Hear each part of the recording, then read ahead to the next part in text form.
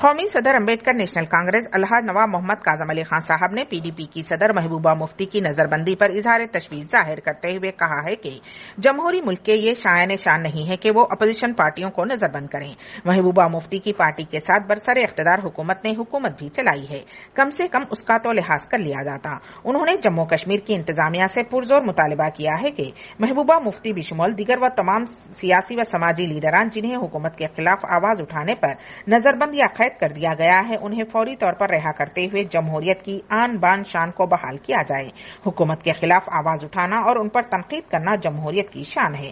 انہوں نے دہلی کے اقلیتی کمیشن کے چیئرمین ظفر الاسلام خان کے خلاف دیش دروہی کا مقدمہ واپس لینے کا بھی مطالبہ کیا ہے اور کہا ہے کہ ظفر الاسلام خان عالم اسلام کے ایک معتبر دانشور ہیں۔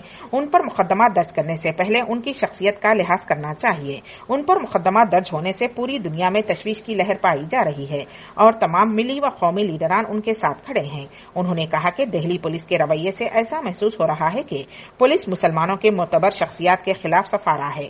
جس طرح تبلیغی جماعت کو نشانہ بنایا گیا اور آنند فانن میں مقدمہ بھی درج کیا گیا، ان سب اقدامات سے مسلمانوں میں تشویش پائی جا رہی ہے۔ امبیڈکر نیشنل پارٹی حکومت ہند سے مطالبہ کرتی ہے کہ وہ ان سب معاملات کو سنجیدگی سے لیتے ہوئے محبوبہ مفتی کی نظر بندی ختم کریں اور ڈاکٹر ظفر الاسلام خان پر عائد مقدمے کو واپس لیں۔